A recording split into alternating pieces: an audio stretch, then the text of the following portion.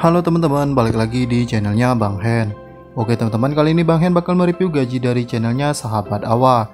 Berapakah gaji per bulan dan per tahunnya? Marilah kita lihat bersama taksiran gajinya.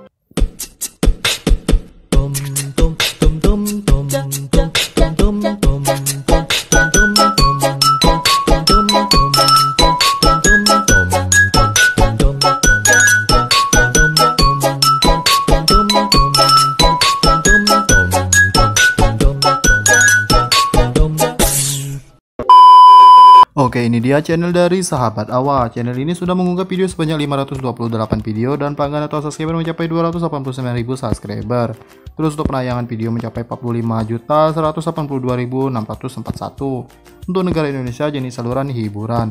Pengguna ini dibuat pada 23 April 2016 Terus kita lihat nilai dari social blade-nya untuk nilai blade-nya yaitu B dan peringkat blade-nya mencapai 108.406 dan untuk peringkat pelanggan atau subscriber mencapai 1972 dan untuk peringkat penayangan video mencapai 200.968 dan untuk negara ke 1122 lanjut untuk peringkat hiburan ke 1660 terus kita lihat perubahan subscriber dan perkiraan pendapatan per hari dan per minggunya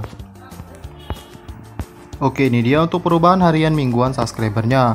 Untuk harian subscriber bertambah 234 subscriber dan mingguan bertambah 1630 subscriber. Terus kita lihat untuk pendapatan per hari dan per minggunya. Untuk pendapatan per harinya yang terendah 26 dolar dan yang terbesarnya 421 dolar. Sedangkan satu minggunya yang terendah 184 dolar dan yang terbesarnya 2900 dolar.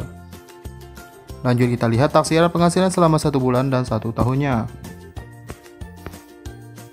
Oke ini dia taksiran penghasilan selama satu bulan dan satu tahunnya. Untuk satu bulannya yang terendah yaitu 789 dolar dan yang besarnya 12.600 dolar. Sedangkan satu tahunnya yang terendah yaitu 9.500 dolar dan yang terbesarnya 151.600 dolar Oke, coba kita hitung jika dirupiahkan. Kita hitung gaji yang terendahnya selama satu bulan dan satu tahunnya.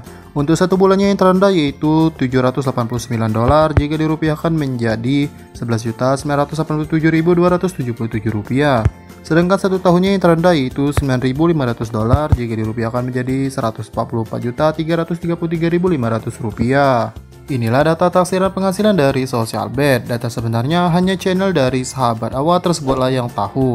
Oke mungkin inilah yang bisa saya sampaikan semoga bermanfaat dan semoga menjadi motivasi buat kalian para youtubers pemula. See you bye bye.